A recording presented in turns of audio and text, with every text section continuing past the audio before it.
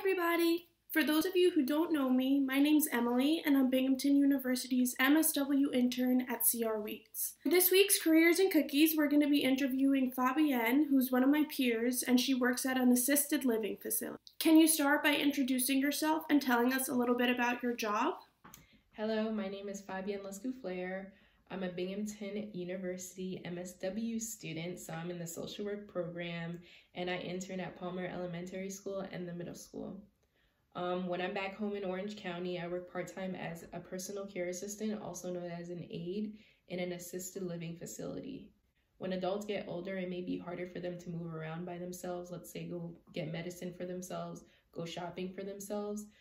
So basically, the assisted living facility that I work at is a place that older adults live so they feel supported, um, they feel safe, um, they feel healthy and happy because we do, do have nurses that work there to give them their medication and then the aides like myself we're there to support them in any way they need. So about my job, it's simply about supporting the resident.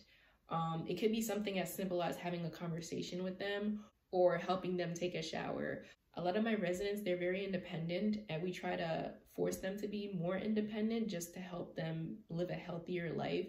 But we're definitely there to support them. So, for example, if a resident needs help with a shower, let's say they can't get their back or they can't wash their hair, of course, I'm going to be there to help them. A lot of our residents do need that kind of help. Or some of the residents I work with, they just want you to stand outside the door because they want to make sure that I'm there just in case they fall. Like I said, it just depends on that resident and what they want at that time. Okay, and can you share what education or training that you needed in order to start this job? As far as education, I did my training back in 2014, um, and it was a seven day training. In order to keep my certification alive, I have to do an in service every year. And what an in service is, it's just like a one day training just to make sure that I remember all of the things that I've learned in 2014. It's like a refresher course, but like I said, it's only once a year. What does a typical day at work look like for you? Typical day at my job is me working 3 p.m. to 11 p.m., eight hour shift. So as soon as I clock in, I speak to the aide that was working there before me, which is usually the 7 a.m. to 3 p.m. shift. And usually that aide is telling me things like, oh, this resident went out, this resident fell today, this resident has a doctor's appointment today, just to catch me up on what's been happening since I wasn't there. Um, the next thing I do, I usually check on each resident just to see how they're doing, make sure nobody's on the floor, make sure nobody fell, make sure they're all okay.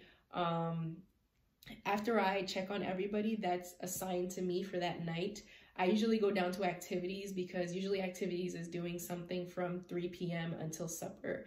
They have their supper at 6 p.m. So usually after I do my rounds, I go down to activities and I just hang out with the residents. I help the activities director, you know, let's say pass out bingo balls and stuff like that. And yeah, when it's supper at 6 p.m., we have our own kitchen staff there, so the dinner's already made and things like that. But the other aide and I, we pass out the trays. Um, and then we also stay in the dining room until all the residents are done eating, just to make sure that they don't choke and make sure that they have every need satisfied. After supper, usually each aide has two showers per shift.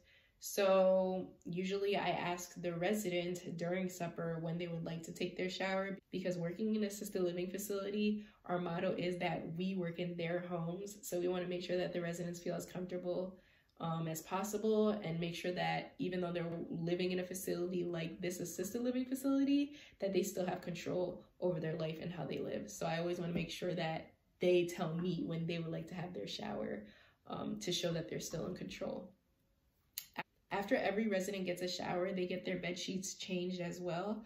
We also have a laundry staff, so usually I collect the dirty laundry and I collect their dirty clothes and I send it down to the laundry. Those people, they wash it, press it, fold it, and bring it right back up to the residents. So it's like they live in like a hotel ish kind of place because the facility is set up like a college dorm. Everybody either has their own room or they have a roommate but everything's done for them and the only common areas that they share are the dining rooms room and there is also a barbershop there um so it's pretty cool so we treat them like their hotel residents and they're always going to be taken care of in that kind of way. What is your favorite aspect of the work that you're doing? My favorite aspect from my role as working as an aide is simply just having conversations with the people that live there. Um, we have a 65 year old man there. That's I think he's the youngest we have, and we have a 101 year old woman there, and that's the oldest we have. And it's like obviously they're older, so they're definitely wiser. I like the advice that I can get from them, and I just like hearing stories that they tell me about, you know, that they did when they were younger, because they clearly grew up in different generations. So I just really enjoy the conversations, but mostly the advice I get from the people I work for and the people I serve. What goals do you have for your future education and career? goals for my future education, I would like to continue to work within a school system. Um, I just like working between those hours. I like the snow days. I like the people I work with. Like, there's different people in a school the teachers, the principal, the counselor, the social worker, the nurse. It's just like, I like that. There's so many different professions I can work with. Like, even right now in Windsor, I like working in the middle school and in the elementary school because it's just like, different lesson plans, but also different ages. It just keeps me on my toes, and I just really enjoy learning from different ages, different people, different professions. It's just something that I really enjoy. So I definitely think I want to stay within the school system. And what advice would you give to kids who may want to work in a similar setting or a similar role as you? The advice I have to kids that want to work in a similar setting, whether it's in an assisted living facility or in a school system, um, I just, the only advice I have is just to try everything. Like, you may think that you want to work in a specific setting, but you don't know, well, you wouldn't know that you would enjoy working in another setting. You know what I'm saying? Like, like for example, I never wanted to work in a school setting. I just took this internship to try it and now I love it you know but at the same time i've worked in other settings before i've worked in the juvenile justice setting i worked in um, I worked in an office setting. I worked in a group home setting. I think it's just good to have your options because like I said, you won't know what you like until you try it. And you might hate something or you might think you hate it, but you might love it when you try it. You know, so I think that's really the only advice I would give is to like you can have your mindset on what you want to do, but definitely try it first, but also try other things. Cause it's like you may love chocolate, but what if you try Skittles? Skittles might turn into your favorite candy. You might have loved chocolate, but that's because you never tried anything else out there. And you might say, I love chocolate so much. Hmm, let me try Skittles for the first time. Whoa, I love this fruity flavor. Skittles are awesome. Now they're my new favorite candy. So I that's why I think it's just very important to just you know try try things try different things you know keep your options open because you don't you might like something but you might love something else because your work makes you an everyday hero, who is your hero and why? My everyday hero is my mother. Um, she taught me that strong women, they bend, but they don't break.